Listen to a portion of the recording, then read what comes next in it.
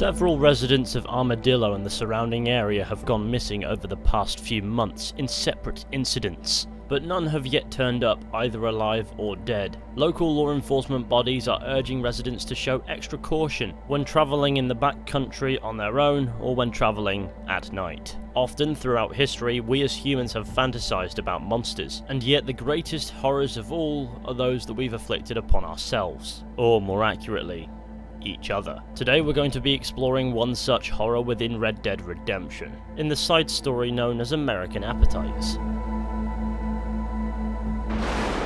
The story begins at the Armadillo Sheriff's Office at some point after completing the main story mission Political Realities in Armadillo, which is the eighth main story mission in Red Dead Redemption. Standing outside the Sheriff's office, we will meet a sobbing woman. Ah, they took my boy! My boy! Who did? He's missing. He's only a youngster. My boy is missing. Where? Who took him? Them people in the hills. Them hills near Hanging Rock. They took him. Can't the police force help you? Oh, they can't even help themselves. Please, sir. My son is missing. I need your help. If I find him, I'll bring him back to you. Now we're tasked with heading into the hills to find this woman's son. Before we do, we can find an article about the missing child in the Blackwater Ledger. Young boy missing. Ralph Anderson, age 8 years. Please contact Grace Anderson of Armadillo with any information as to his whereabouts. Obviously it doesn't tell us very much, it's just a cool detail. We'll now be guided to an area northeast of Armadillo, where hopefully we'll find some clues that may lead to the whereabouts of this missing child. Most unfortunately though, all we find in the hills is the most minuscule amount of remains, some body parts, and a lot of blood. Are these the remains of Ralph Anderson? It would appear so as that completes American Appetites Part 1. A short time later, Part 2 will become available back at the Armadillo Sheriff's Office. In order for Part 2 to become available, you need to complete Justice in Pike's Basin, the ninth main story mission in the game. This time, however, we find a sobbing man. She's gone. Who is? My wife, she's gone. She went out picking mushrooms in the hills near Hanging Rock and they got her. The stories are true. What'd the police do about it? Oh, about as much as you'd expect.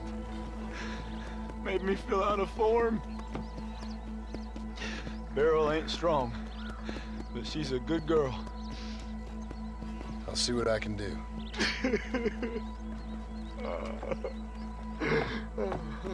Now we're tasked with finding this poor man's wife, who also went missing up in the hills. The location we need to head to is not too far away from the previous one. Interestingly, both this poor man and the woman who came before him both seem to reference stories regarding people in the hills. Most unfortunately, once more we appear to have arrived too late to be able to save Beryl. Finding only a puddle of blood, a shoe, a hat, and a severed arm.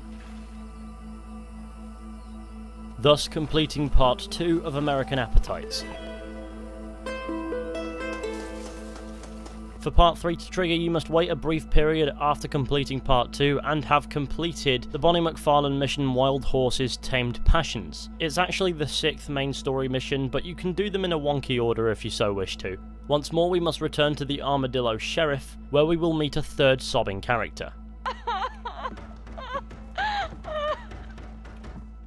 You okay, lady? My husband's missing. These bastards won't do anything. But he's a good man. He don't drink nor lay with whores. And he's been he's been missing for three days. Let me guess. You went missing up in the hills? How did you know, mister? Just a guess. If I find him, I'll bring him back to you, but people seem to go missing up there. Oh my god. If he's gone, then what'll I do? We ain't got much money. And I'm in the family way again. As I said, I'll do what I can. Once more, we're tasked with going to the same hills that we went to the last couple of times, however, this time things play out a little differently, as this time we find somebody alive. Oh, oh mister! Mister! Some city fella just attacked me and broke my leg. What? He broke my leg. Some city fella. Guy got kind of creepy on me, and then he got violent. When? Just now, uh, he ran off that way. Can't have gone too far. If I find him, I'll bring him back this way. Thank you, mister. This guy lets out one hell of a creepy laugh, which is where my suspicion begins to arise. We're now tasked with chasing down his assailant, which shouldn't be too difficult. You're all crazy!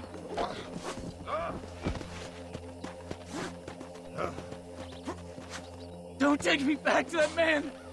This is a nightmare! If things weren't already interesting, they're about to be. Please! I'll do anything! Oh my good lord! Please get that man away from me! Uh, uh, hey, fella. You broke this poor fool's leg, mister. this maniac tried to eat me! We've got cannibals in these here hills! Please help me! What? Please! Fella's gotta eat now. Fella's got to eat. Save me from this freak, please! Please! Now we need to choose let this man be eaten or save his life. And that brings us to the end of the side story American Appetites. So now we know what happened to Ralph and Beryl, and likely several people before them. They were murdered and then eaten by a man named Randall Forrester. Forrester spent the months leading up to the events of Red Dead Redemption 1, stalking the hills out near Armadillo, picking off residents of the area, murdering them, and cannibalizing their bodies. Until one man put up a fight and broke his leg, giving us enough time to get to them and figure out what was going on before subduing Forrester before he could claim another victim. What's interesting is, in every single part of American Appetites, there is a character involved who seems to know that there is a person involved in the disappearances, though every single reference is plural, as in there's more than one cannibal out in these hills. Them people in the hills, them hills near Hanging Rock, they took it. She went out picking mushrooms in the hills near Hanging Rock and they got her. The stories are true. We've got cannibals in these here hills. Please help me. Obviously, in the game, there's only Randall Forrester, but for speculation's sake, could there be an entire community of cannibals out here? Randall may be the only one we see, but it seems as if people are convinced that there's more than one person responsible for the disappearances going on up here in the hills near Hanging Rock. I know we can meet a cannibal in Undead Nightmare, just yamming on his mate at the side of the road. Maybe there's a chance that he could be a part of this cannibal community in the continuity of the main games, but that's in a separate canon, so I'm not sure if it's relevant. But I'd love to know what you think about that one. Anyway, that concludes today's video on American Appetites. So, thank you all for watching, I hope you enjoyed.